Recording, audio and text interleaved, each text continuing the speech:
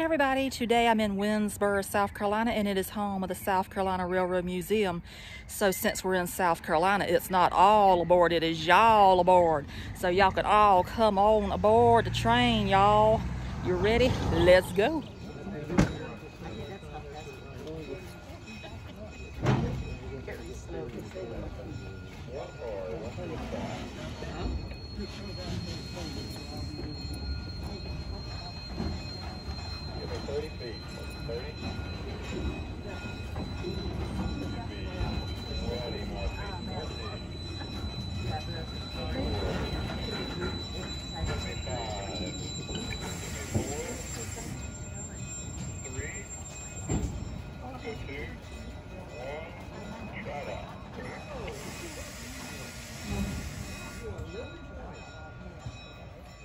There are three locomotives lined up. And those are three of the five locomotives that we have. The one here in the front, number 2028, uh, is a uh, EMD, electromotive diesel, SW, SW, I'll get it right here, SW8. Uh, it and all the other locomotives date to the early 50s. Uh, this weighs about 100 tons, uh, about 800 horsepower. The engine that's sandwiched between the big ones came to us from the U.S. Army at Fort uh, Stewart.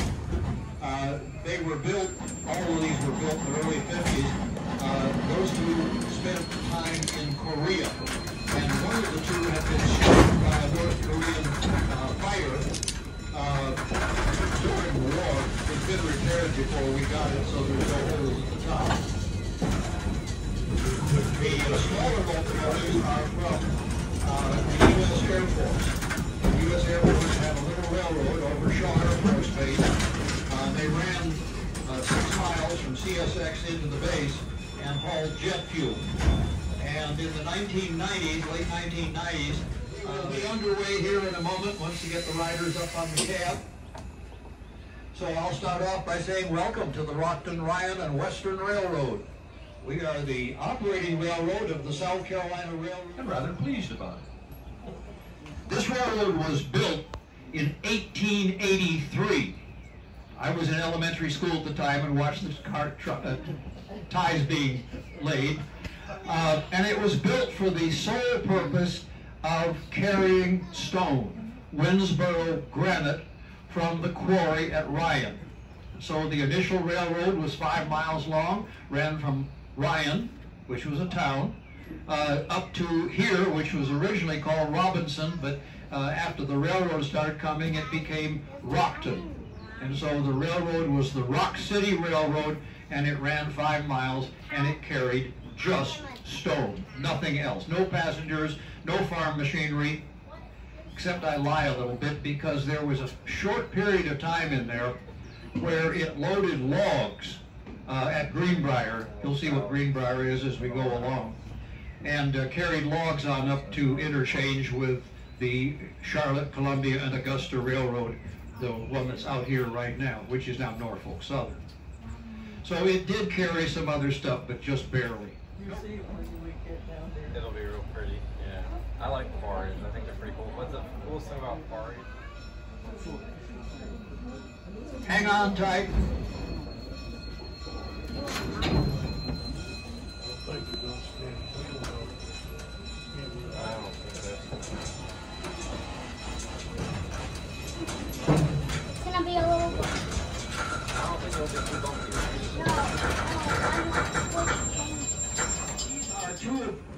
Uh, that we have from What do you see back there? the Virginia Railway Express. That's a commuter line. It operates out of uh, Chicago, out of the Chicago, Washington, down into southwestern Virginia. Those are bi-level cars. They hold about 80 people. Uh, and we can't use them in the summer. We use them in the winter now and then. But uh, we can't use them in the summer because they don't have air down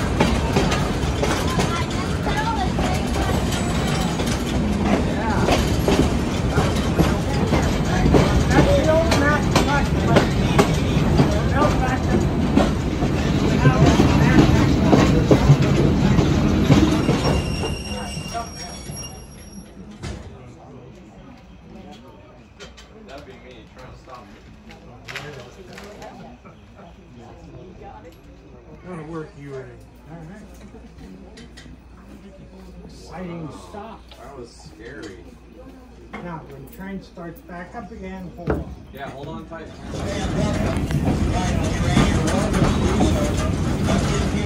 Please have a hand on something.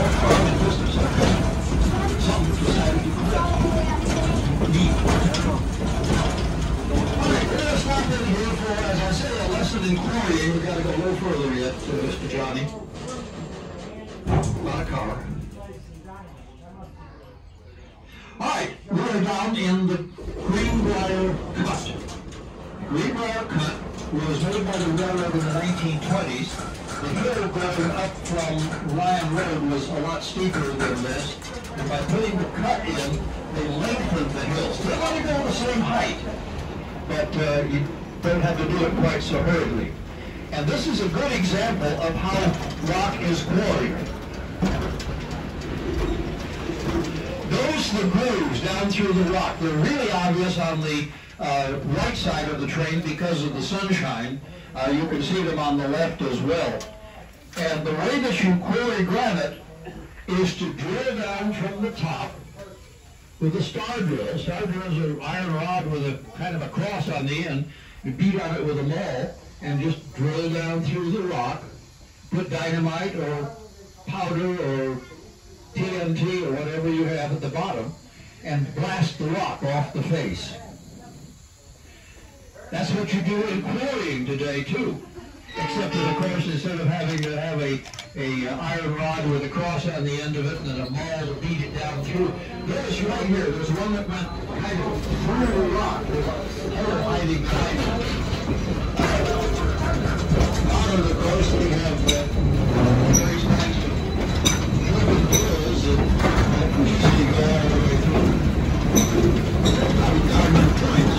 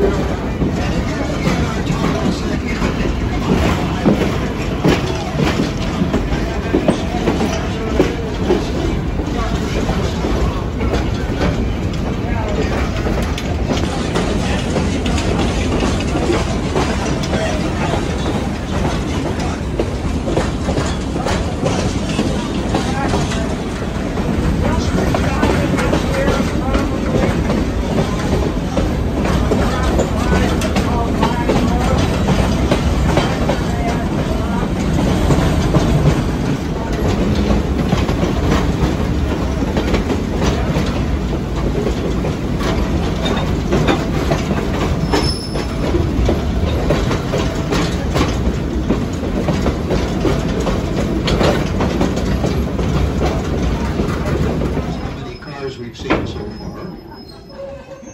The most I have ever seen is three, but the insurance company says we have to stop, and the, somebody at this end of the train has to get off and flag, which I think is probably more dangerous than running the train across the track, but uh, that's what the insurance people say.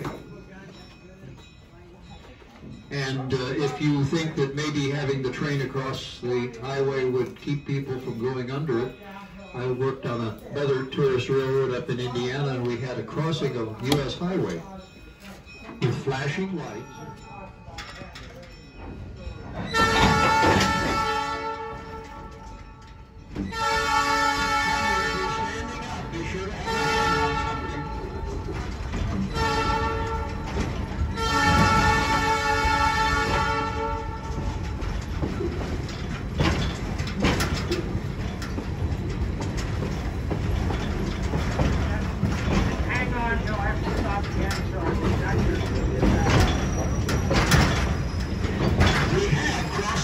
crossing uh, flashers for this crossing. But the crossing.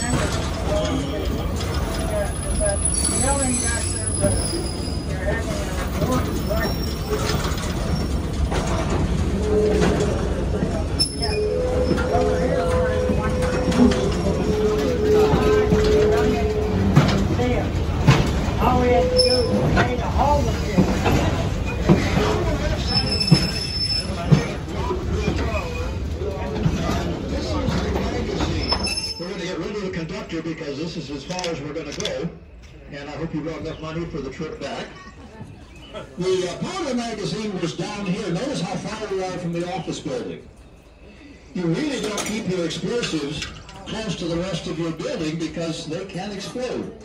That building is built with fairly strong outer walls. They're granite blocks. And a very weak roof, so that most of the explosion force, it did, would go straight up.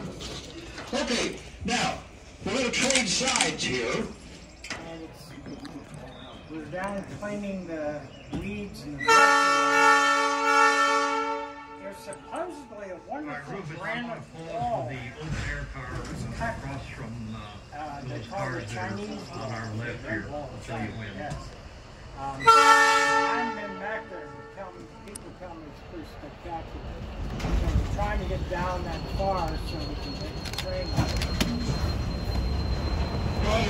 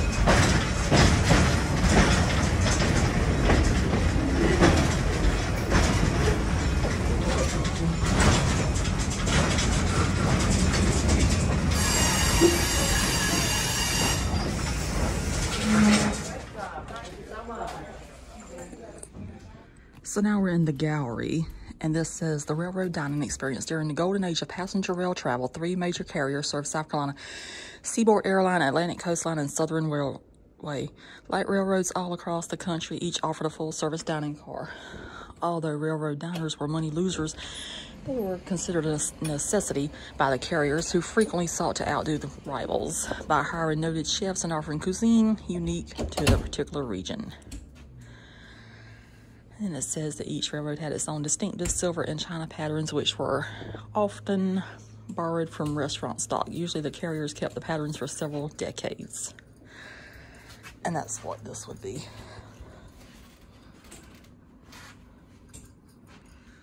So this says types of rolling stock. Trains have many different types of cars, also known as rolling stock. A train's function determines the type of rolling stock. Industrial railroads use freight cars to move resources and products. Passenger railroads use passenger cars to accommodate riders and their needs. So you got the freight, passenger, dining, and caboose.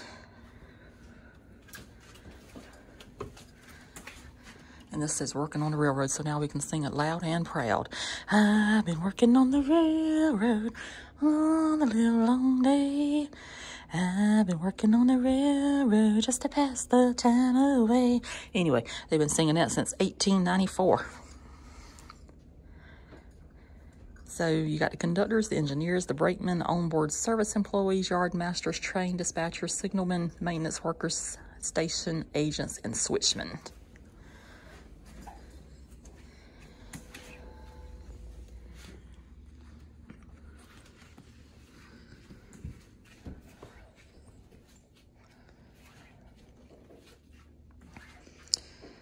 So it says on the left, we have the yard limit sign, and on the right, we have the mile post marker. And these down here, these are the switches.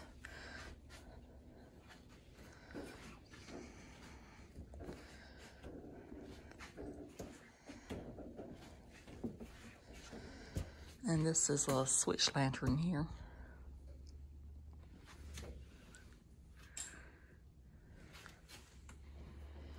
And that's the New York Central locomotive bell. And it said this bell belonged to the New York Central Mohawk locomotive number 2565.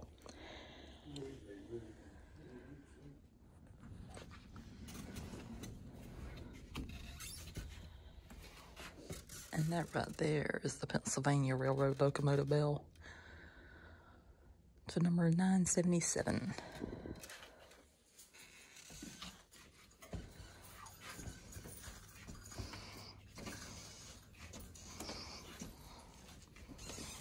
A sweet model train exhibit right there if it was running.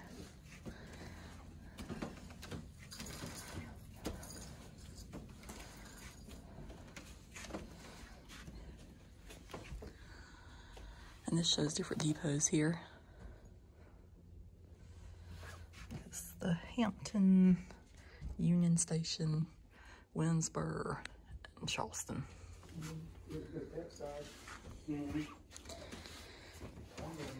And it says this is a cast iron downspout. This downspout came from one of the buildings in the Charleston Railroad Depot complex. It's really pretty.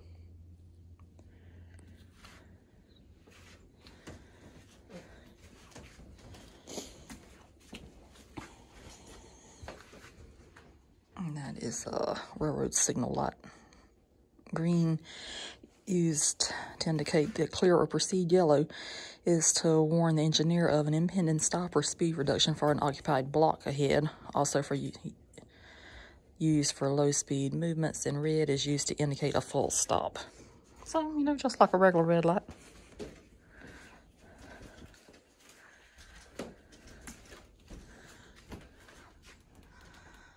That's the South Carolina Railroad achievements. In the history of American railroads, South Carolina has always been an innovator and can claim several firsts in the national railroading timeline. And that's talking about the best friend of Charleston. We all know what happened to that one.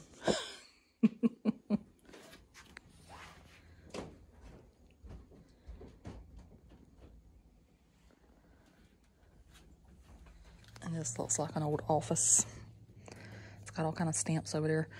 Actually, it says it's the Branchville Depot when the South Carolina Railroad extended its service to Columbia, the Branchville station became the first railroad junction or station where two or more or more routes met. This photograph is of the Branchville Depot in 1960. Depot is another word for a station building. The room recreated here shows what the depot probably looked like in the 1920s or the 1930s. Very little had changed when the 1960 photograph was taken.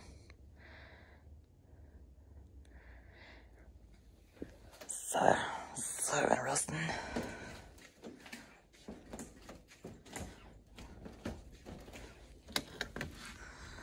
And that contraption right there looks like a TV antenna is an order fork. It says paper messages or orders were placed on the pointed ends of order forks to pass information to moving trains.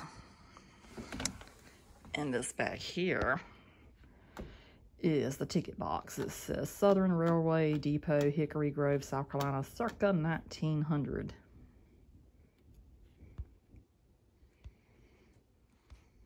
And we can have a moment. Before there was computers, there was typewriters. and you just had to click everything out on all those keys. Went bing, bing, bing, bing, bing, bing, bing. So I've actually used a typewriter in my life. I'm old enough to know what to do. I think mother is coming over now to put her wisdom in on it. What can you tell us about a typewriter? It's an Underwood. It's on the back of it. I Oh, thought it was Underwood before I even. Did you use one like that in your I day? j- Yeah. There was some.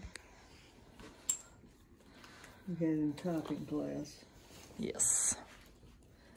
Um, Some, our typing teacher, she put, she would put you on the keys that did not have letters on it to start with. Yes, because as we all know, it's ASDF, ASDF, JKL, semicolon.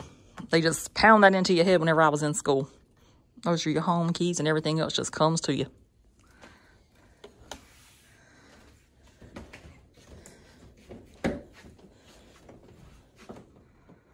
And that's all kind of railroad stuff there.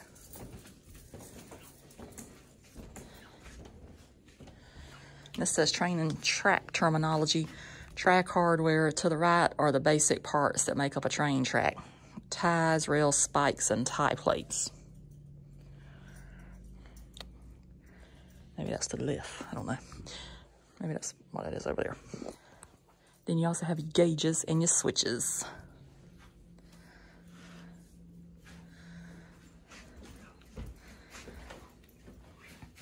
And here's some more lanterns.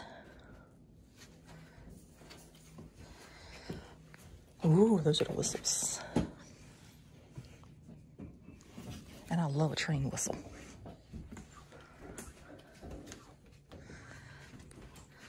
And this says railroad communication train order signals.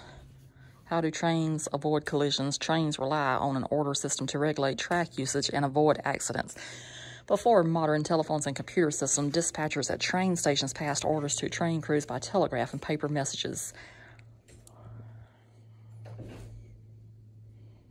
It's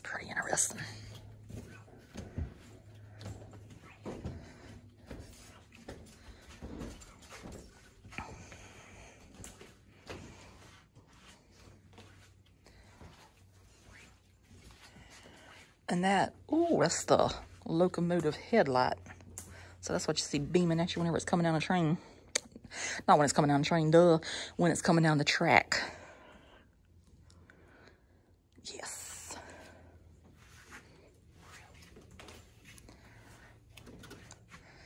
And this says Rion and Anderson Quarries. From skyscrapers to chicken feed, granite is a diverse stone. Operated by the Winnsboro Granite Company, the Rion and Anderson Quarries produce versatile, high-quality stone for nearly a century. And this right here was a railroad ticket cabinet. It says this cabinet was used to hold tickets in the depot. It is currently missing the ticket racks. And this cabinet was used by the Southern Railway Depot in Rock Hill, South Carolina.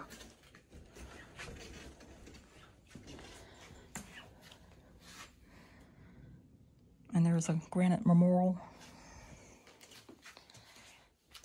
Company minute book, advertising items, postcard. No trespassing. Some granite blocks. And down there is some more miscellaneous stuff off of different trains.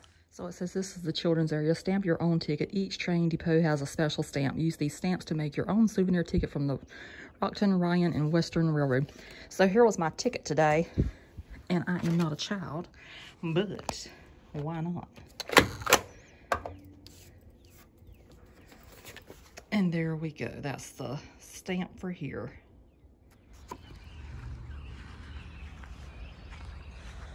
So now we're gonna get on the train, the display train anyway.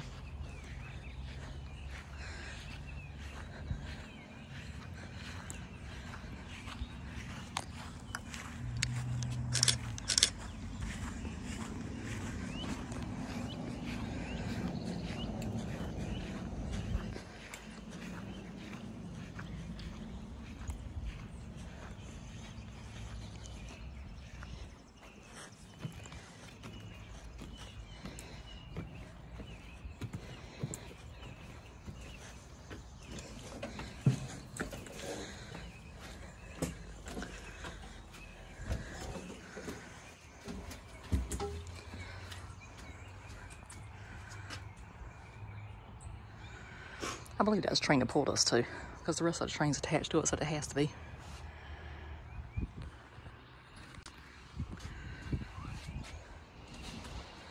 Alright, so here we go.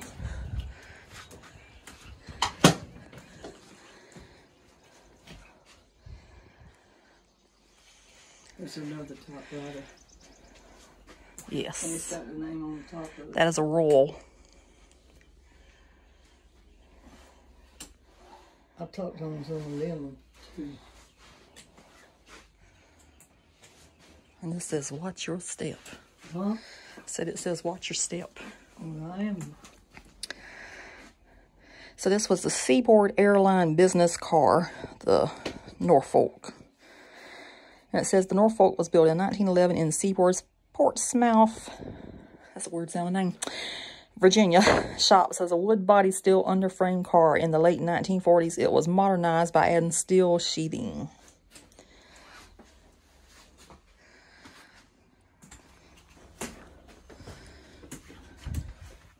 So now we shall mosey on down this narrow passageway. And this is a lovely bedroom. And a small bathroom.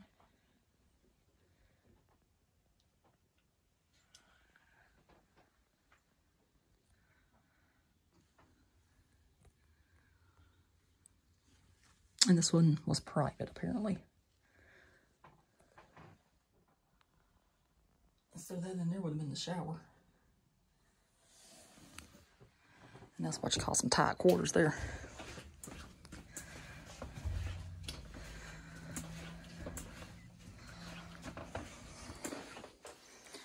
Here's another bedroom.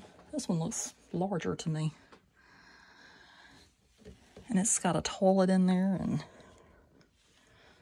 some suits on the wall.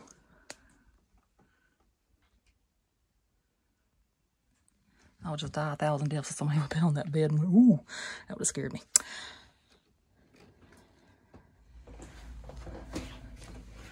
I like the carpet down there. I don't know if that's from the 1940s as well.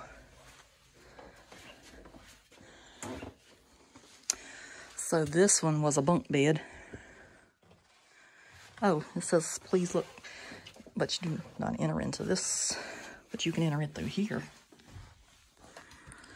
So that shows how little that is. And it's got outlets on the wall, toothbrush, soap, scissors, comb.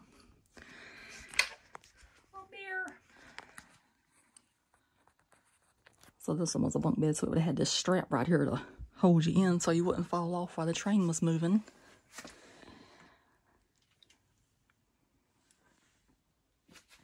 And that little ladder to get up there. And obviously that's back from the days when people were thinner than what they are now.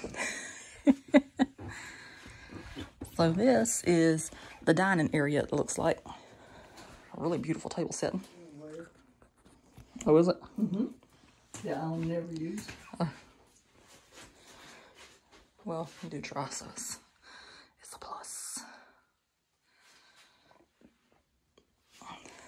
You have a fancy chair you can sit down in.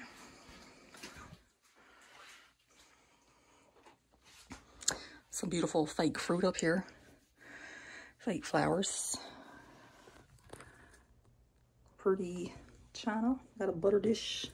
Mm-hmm. Oh, that's a pretty egg. It says don't touch nothing. You ain't gotta worry about me touching anything because I don't want to have to pay for it.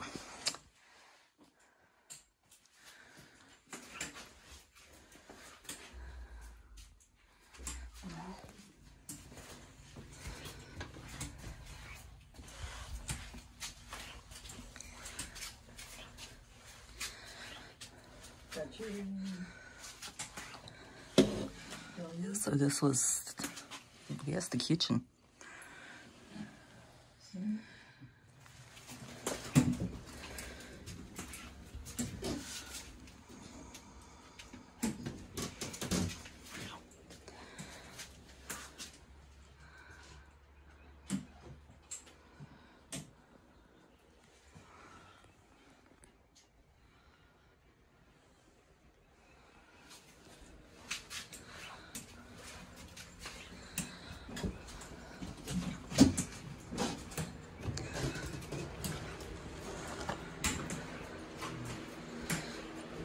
This is the mail car here.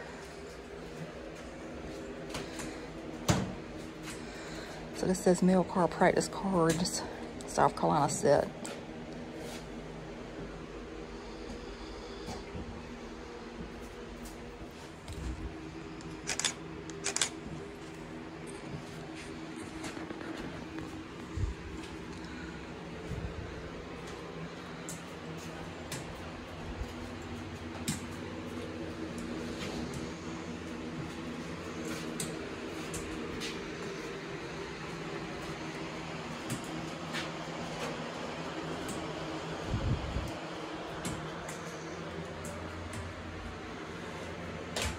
It says by the early 1900s, railroads were critical to postal operations.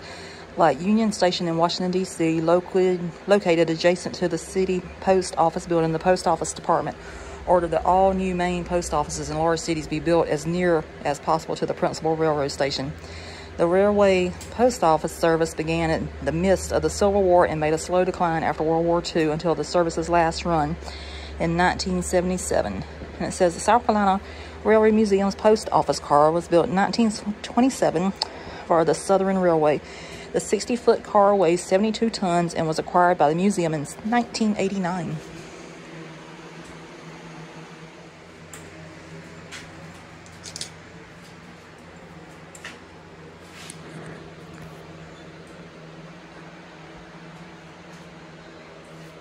So this would show different places. You got like Warner Robins, Abbeville, Fort Valley, Fort Stewart, Covington, North Smyrna Beach, Franklin, Elgin, Air Force Base, Savannah, Livingston, Sweetwater. Saw Bret Maverick reference there. Um, South Pittsburgh, Irwin, Maryville, Victoria, Freeport, Bay City, Fayetteville, well, Fayette, Horton, Adamsville,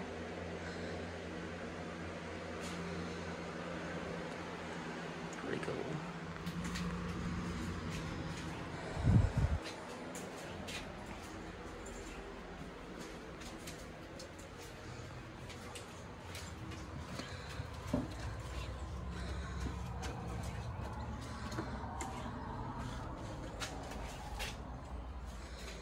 This must have been the luggage compartment. Just some old luggage down there.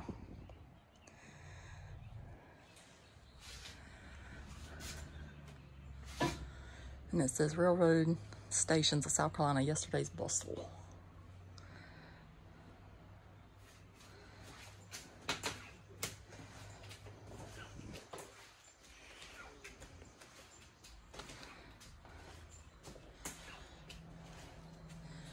And that right there is a Southern Railway Fairbanks scale.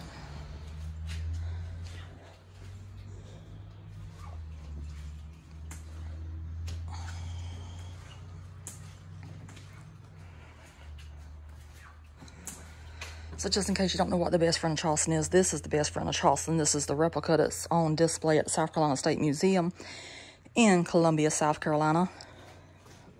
You can go there and pay it a visit if you'd like to see it. So it says this is the Southern Railway baggage car. Baggage cars, also known as combine cars, if they are also featured a small section of coach seating for passengers. In these cases, the trains were normally low priority locals or secondary runs, became a fixture on passenger trains over the years as they almost always rode along directly behind the locomotive. So that's the information on that.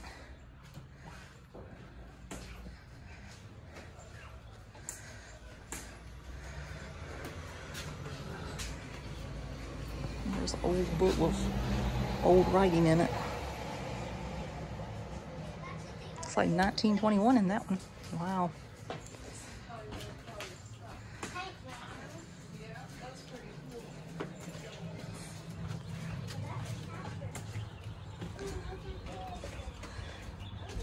I think mom has gave up on me. She's already sitting down there. So we just got off the train there.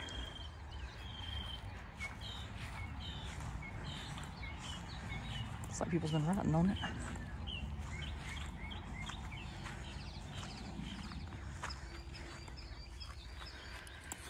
So this is the Southern Railway Pullman Bizet. This passenger car was built and originally owned by the Pullman Company, which operated its own fleet of sleeping cars on a contract with many railroads. The railroads sold the tickets to ride and pull the cars, but the sleepers were actually operated and staffed by the Pullman Company. From the late 19th century to the mid-1940s, the Pullman Company was the primary operator of sleeping cars in the United States.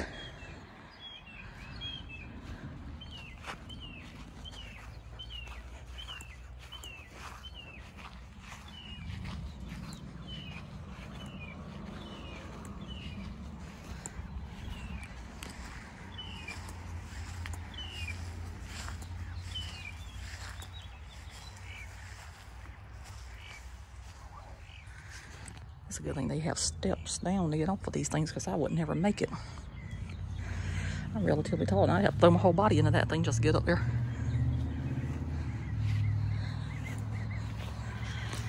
I'm still gonna think they use this for livestock. It had to be for horses or cows or zebras or tigers or something.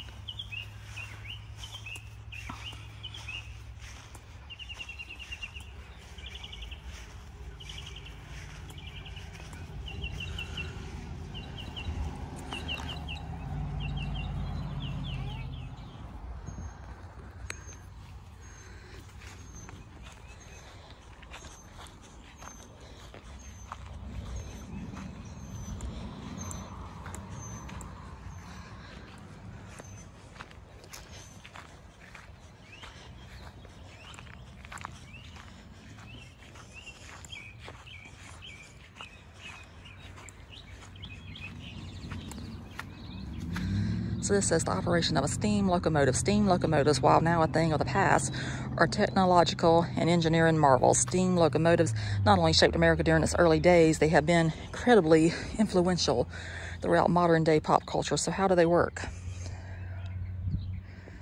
So it's operated through the use of steam power and that right there shows you how it operates.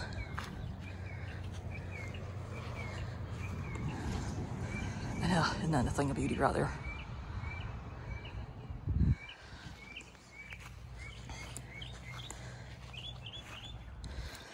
So it says Hampton and Branchville number 44. This is Hampton and Branchville number 44. This locomotive was built in January of 1927 by the Baldwin Locomotive Works. She was built for the Hampton and Branchville Railroad, a short line railroad located at Hampton, South Carolina. The 44 spent its entire working career in South Carolina. It now rests here retired at the South Carolina Railroad Museum and was taken out of service in 1959. After retirement, her boiler was used to hold fuel for the diesel locomotives that replaced her. So there's a look at her through all her history. And now she sits here for everybody that comes to the South Carolina Railroad Museum to enjoy.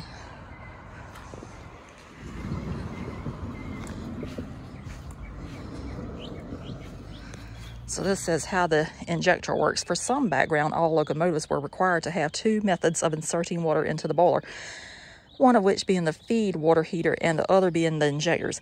Both methods were required to be independent from each other for safety reasons. The injector is a unique piece of technology. Think of it like a can of spray paint.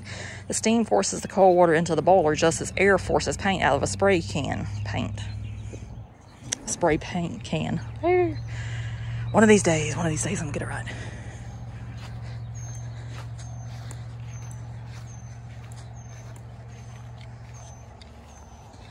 And this says how the steam chest works. The steam chest is one of the most important pieces of equipment on a steam locomotive. The steam chest is actually what distributes the steam into the cylinders and causes the locomotive to move. It is connected to the piston rod and valve stem, which actuate the steam valve. Notice how steam is both in front and behind the piston. The valve spool and the stem are what control the flow of exhaust and live steam through the cylinder. In simple terms, the steam chest is where steam moves the piston, which turns the wheels.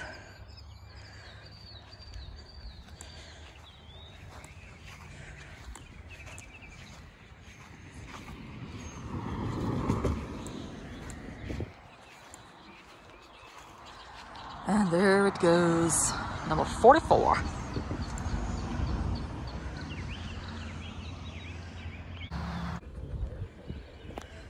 So they did have a cute little photo area here. I don't know why we didn't utilize that.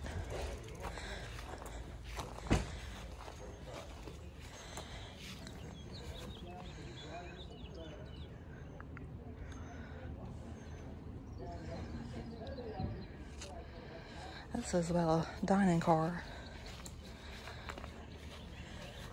And about some passenger cars.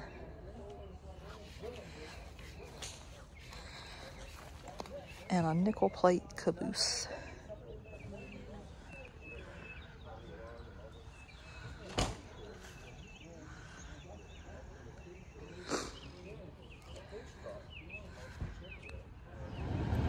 So, what did y'all think about the train ride since it was y'all aboard? Glad we did it again? Yeah. Yeah, so if you haven't seen my video from last year, check out my South Carolina Railroad Museum video from last year. It's actually got better footage on it, I think, than what this year's does because I was on the front of the big green one.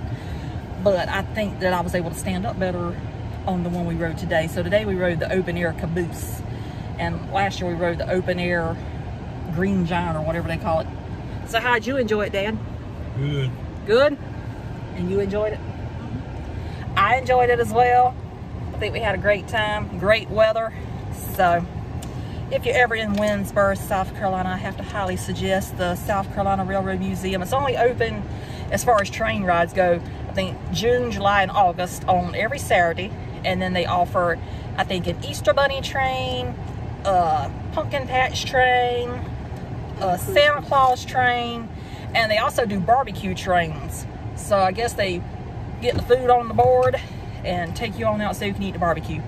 And the area that they take you for all that is down there where the Ringling Brothers Barnum and Bailey Circus train cars are at. So, if you enjoyed this video, as always, thank you so much for watching. And can you say it again for them louder? Subscribe. And what else? And hit the button. hit the like button. Don't hit the dislike button. If you don't like it, just don't hit anything. But anyway, thanks for watching. See you in the next video, and bye. Oh yeah, and one more thing that I meant to add. The museum itself is open Wednesday through Saturday from 10 a.m. to 4 p.m. So you can visit and you can walk through the train like I walked through the train. But the train rides are on Saturdays. So I needed to clarify that before I end the video. So anyway, hope you enjoyed. Bye again.